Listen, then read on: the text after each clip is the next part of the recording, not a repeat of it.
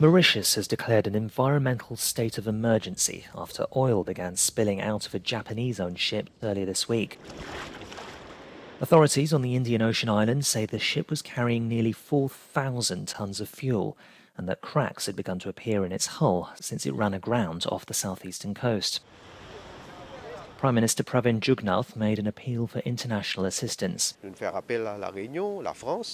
We will appeal to Reunion as well and France, to the United Nations and other countries, to aid in the efforts because we don't have the expertise here to deal with such a catastrophe.